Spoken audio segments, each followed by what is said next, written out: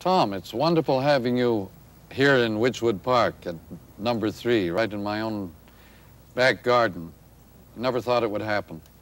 Well, I didn't either. I think you've got the best uh, putting green in town here. It's great stuff. I, it's a bit rough for putting because of the acorns. And uh, however, here, yeah. croquet is better. it, it, rolls over the acorns quite well.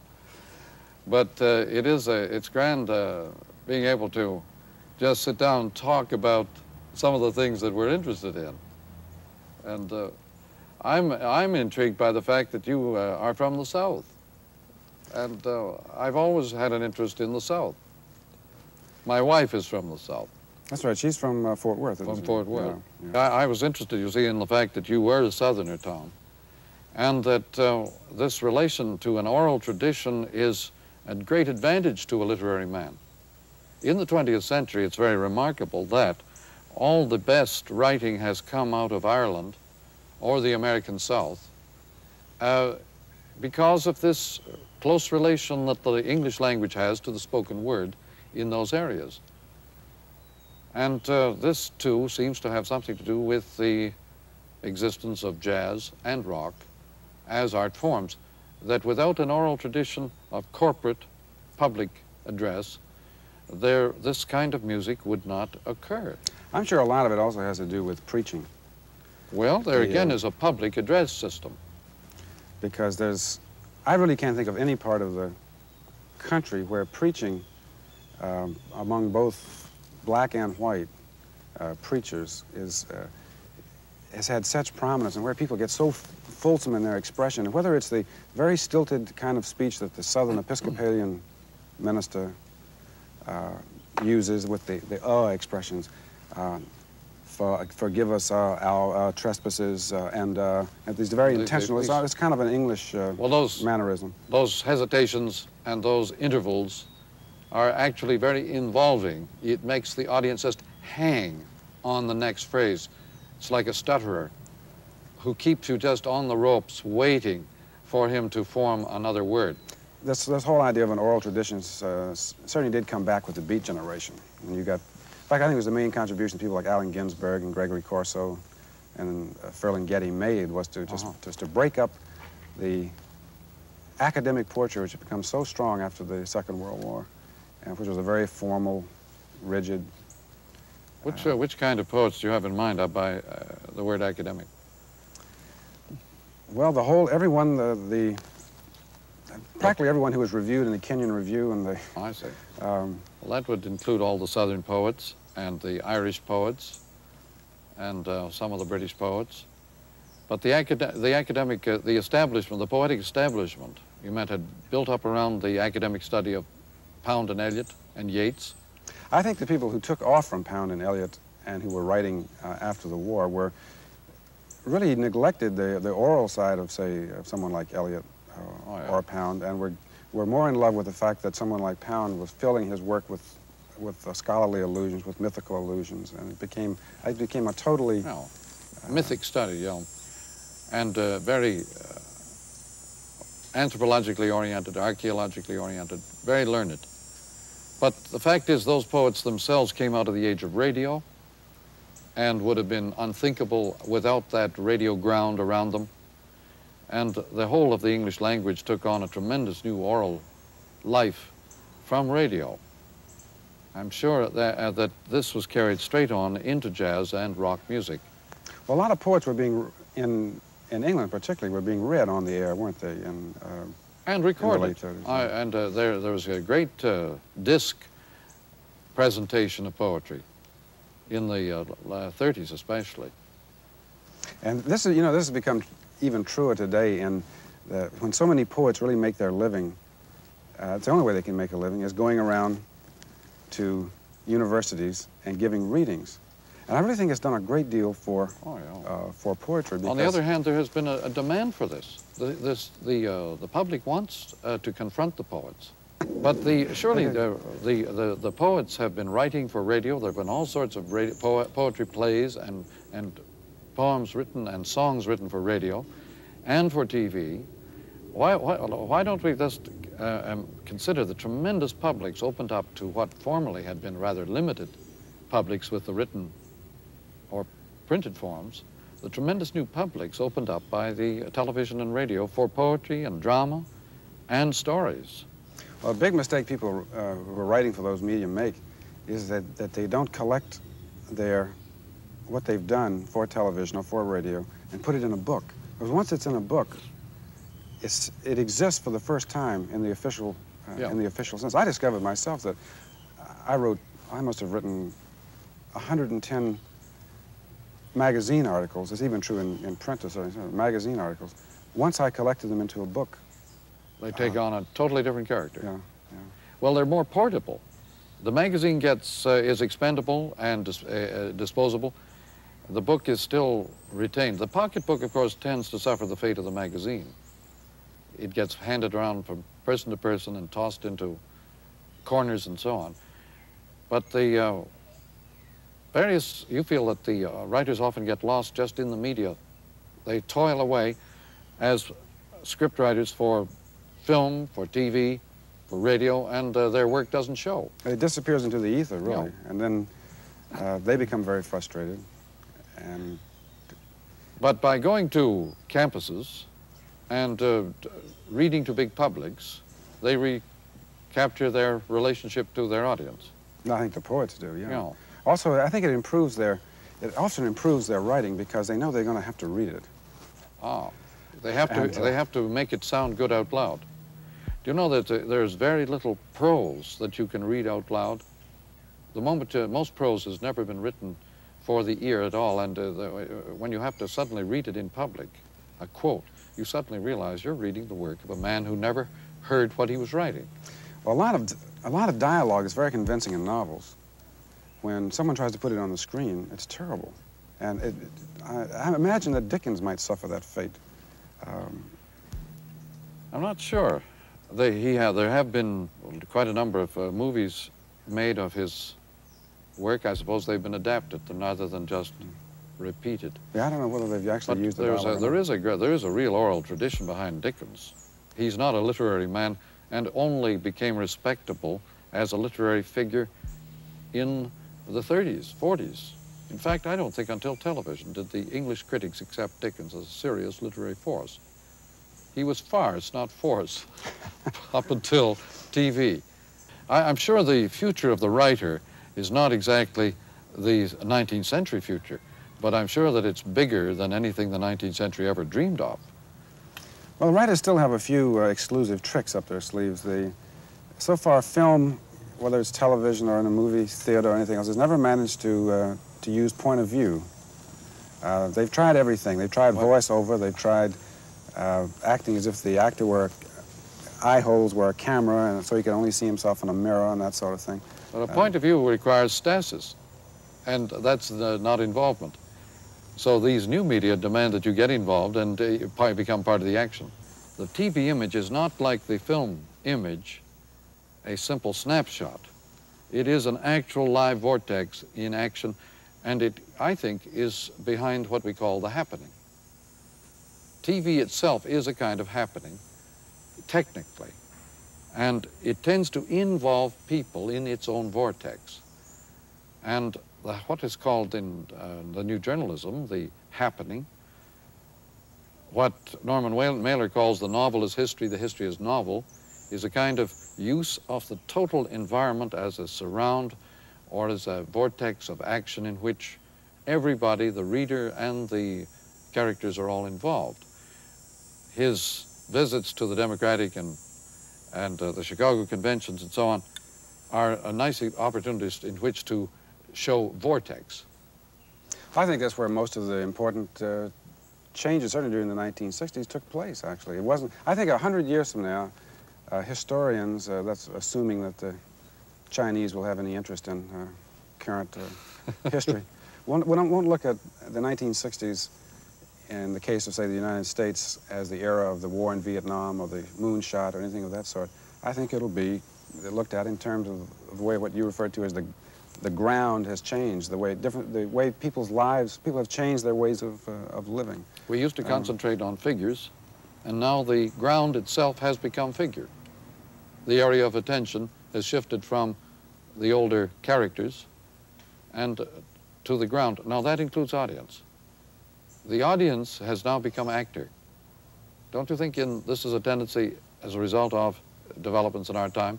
Well, certainly Woodstock is a perfect example of that. Woodstock is probably the great typical event of our times because... Instant City.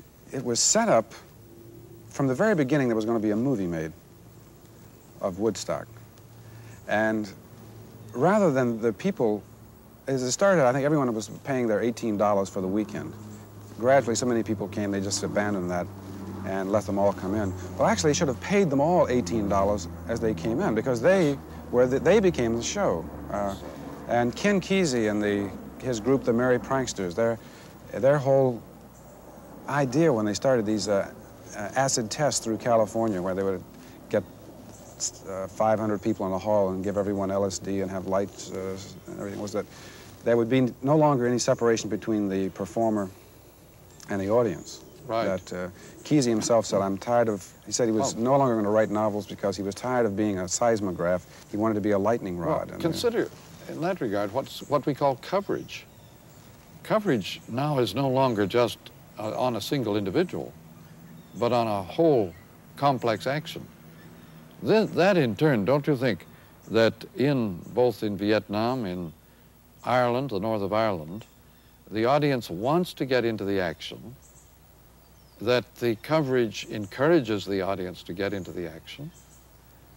I have been told by reporters from the north of Ireland that the, when the news is not on, there and the cameras are ready to go, the public is all out in the streets, ready to go into action as soon as the cameras are.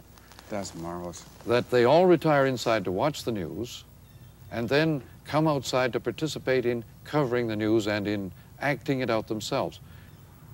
Now, I think the difference between hired actors and the public itself is tending to merge. Isn't that what you're saying? This kind of unexpected flip, it happened in the Eichmann trial.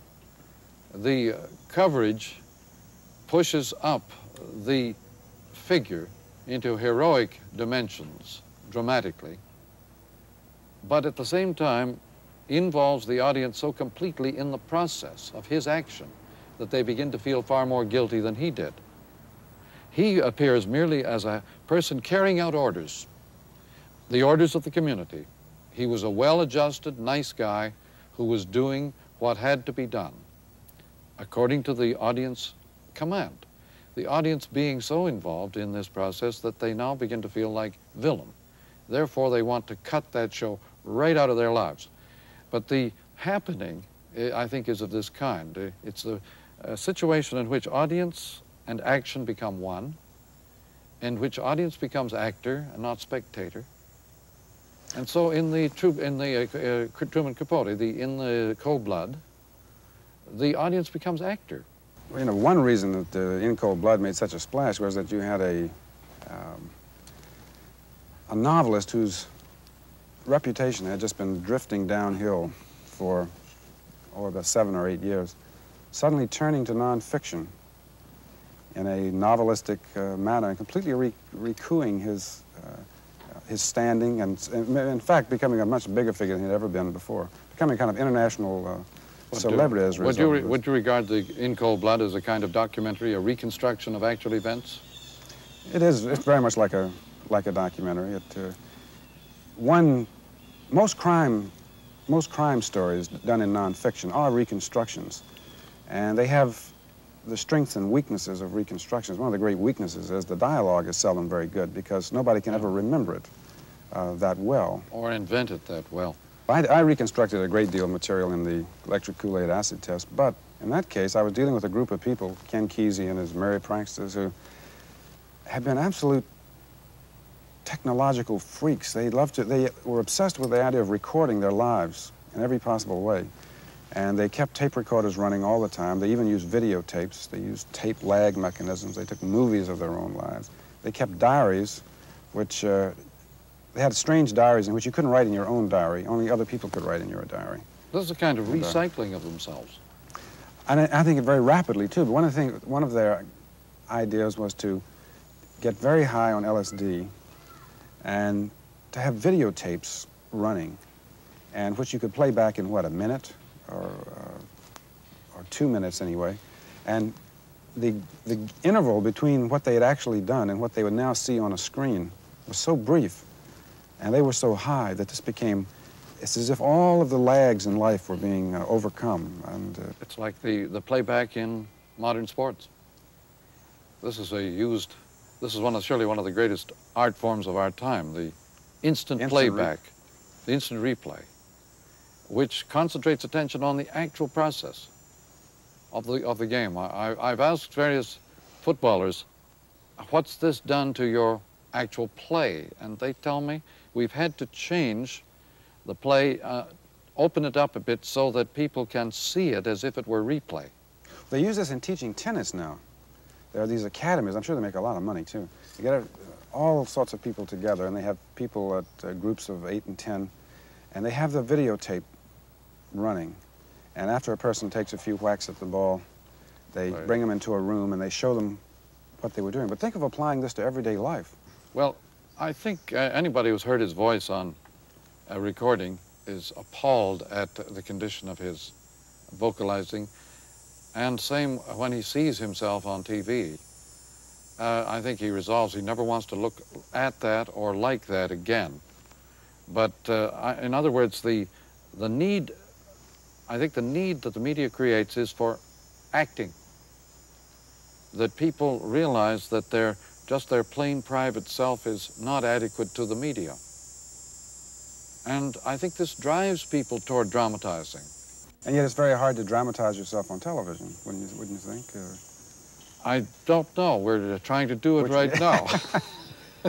and I'm not feeling very dramatic. I, I know that you've been in thinking a lot recently about uh, the idea of the put on in se with several Yeah. uh, several meanings, and I believe I heard you say that there were that there were no great North American symphony conductors oh, because of, and I never got that straight. well, it, it's it's not it's not a, a, a direct and simple thing. To but it began with my discovery that Americans go outside to be alone, and inside to be with people. Now, in all other cultures, uh, Hindu or Russian or Japanese, English, European, people go outside to be with people. They socialize outside, they sit outside, they eat outside, and talk and visit in cafes and, and pubs and bars and so on. And they go home to be strictly alone. They don't invite strangers into their homes. And uh, in America, on the other hand, there is no privacy in the American home, and strangers are often entertained and welcomed. But one of the things is that when an American goes outside, he is himself, uh, he is his private self. He does not put on a mask. Other people, when they go outside, tend to put on masks in speech or in dress or in actions. I suggest that there are no American symphony conductors.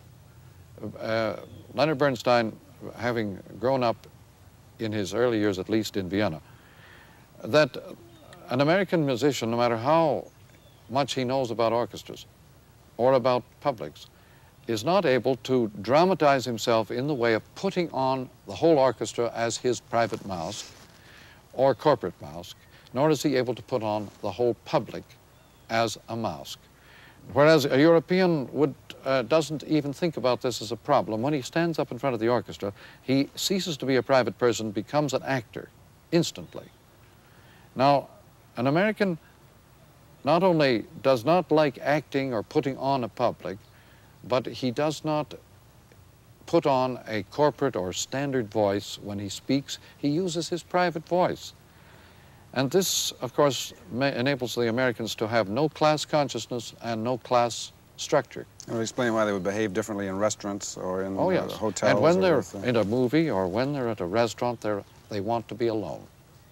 And they don't want adver- advertisements in movies because they go there with their dates to be alone. Whereas Europeans will put up with conversation in movies and advertisements in movies and so on. They do not go out to be alone.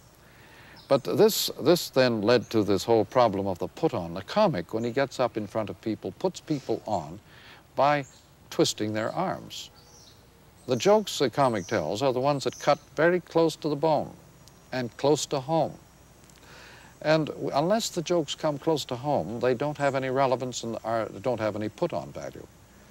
So the ethnic jokes are the ones that are closest to home and uh, the areas where things hurt, where there's abrasive contours and abrasive interfaces and so on. So most jokes tend to have this minority quality or uh, irritation quality, and just as games people play often tend to have a rather destructive quality, a violent and destructive thing. But a put on, a put on, therefore, tends to be a way of hurting the public. It's an act of aggression against people, and I think a writer, when he picks up his pen, has to put on his public that way. He has to, if he has something to say, it's going to hurt. I, I remember your predicting once that if the coverage of the war in Vietnam was suddenly withdrawn, that uh -huh. the war would, would uh, grind almost to a halt. And this happened um, during this, the uh, six-day or seven-day war, Israel and, yeah. and Egypt. Uh, suddenly, all of those correspondents uh, for wire services that were all concentrated in Saigon were all suddenly summoned to go to the Middle East. Unfortunately, and, and it was true that in, during that week, the fighting suddenly, and that was fighting was hot at that at that time. Suddenly, just came just came down to nothing. Unfortunately, it wasn't a long enough interval uh, to. Well, it, I think it might be worth an experiment. Uh, people are always talking about the need to understand media by experimentation. I think it'd be worth uh, an experiment in turning them all off for a week. That is, there'd be no newspapers, no radio, no TV, no telephones, nothing, for one week. What do you think would happen? What would people, how would they respond to a complete blackout? Well, in Ken Kesey's phrase, this would be a media fast. He wrote a, a, a fast, recent yeah. Uh, open letter to Rolling Stone magazine in which yeah. he said, I am breaking a six-month media fast in order to, I like, like that idea of the, yeah. uh, of the media fast. Well, uh, one, one of the, when there is no news, as for example in a prison camp, where there's all news is cut off, there have been studies of what happened, or what happens. Enormous outbursts of rumors. The oral thing takes over, and people generate incredible rumors about what's happening, what's going to happen, what's being planned, and so on. So probably there is a kind of control, rumor control, on cover, by means of coverage, even when it's completely fake. Um, that is, most news is literally fake because it has to be made, then selected, and the very, very tiny bits that are actually written up and reported and presented to the public are fictions in every sense of the word, aren't they? That is, they're fictions in the sense that they do not correspond to actually what's going on. But they are made literally, created. Do you think this explains the, that really strange fascination that Arthur Bremer had with Sirhan? He obviously looked at Sirhan Sirhan as a, some kind of heroic figure. He wasn't this poor, helpless, useless human being who had done this desperate thing, and certainly not in Arthur Bremer's eyes. No, and uh, again, uh, he had made the news. Sirhan had made the news. Now, this you can take in every sense of the word as having gotten into the news, having been created into a vast figure by the news. Uh, making the news is a very strange phrase, but the media themselves can now create events that are so much bigger than people, so much bigger than the audience, that it really is a new mythic form. The coverage of the Vietnam War is done by more people than who are actually fighting in Vietnam. The numbers of people covering Vietnam business around the world and participating in it through newscasts, the numbers are many, many millions. And so the war then becomes a fiction, a colossal fiction. This is then leads people like uh, Clifford Irving, uh, just as much as Bremer, into thinking that someone like Howard Hughes can be turned into a myth, a, a great, a genuine fake. Well, politicians very quickly learn that if you want to get on the 6 o'clock news at night, that you do it, if you want to get on NBC, you do something in Cleveland before noon.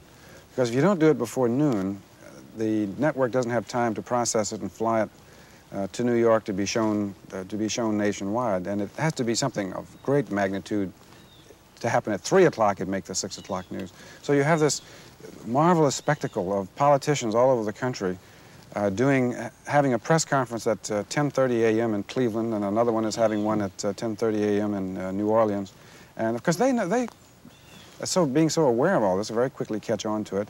And commercial enterprises have caught on to the fact that all the networks want on the 6 o'clock news the last item to be something funny. I don't know exactly why this is true. You've, you've oh. been, maybe it's because you've just been slaughtered for half an hour. um, and they want, a, they want a little kicker.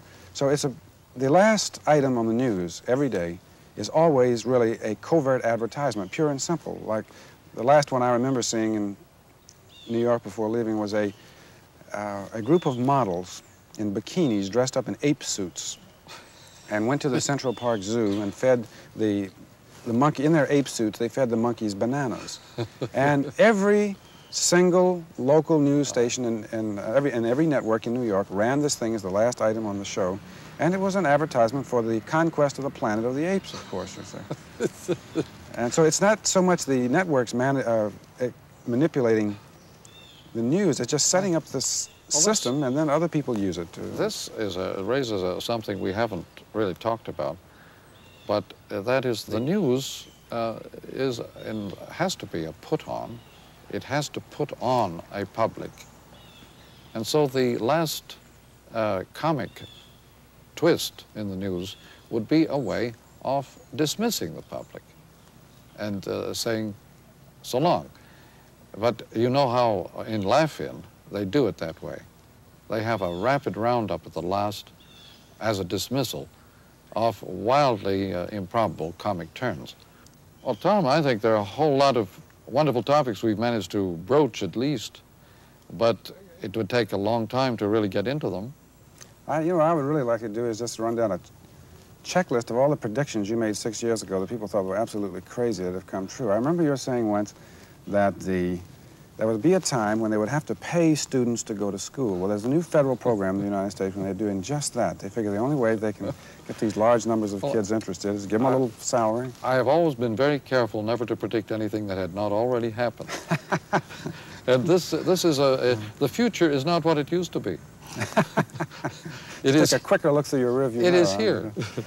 And when you look into the rearview mirror, what you ordinarily see is not the car you passed, but the truck that's coming up on you fast. Never look back. They may be gaining on you. so this, you can't, you can't, you can't, uh, you can't lose. You can't win. Uh, the uh, present is includes the past and the future.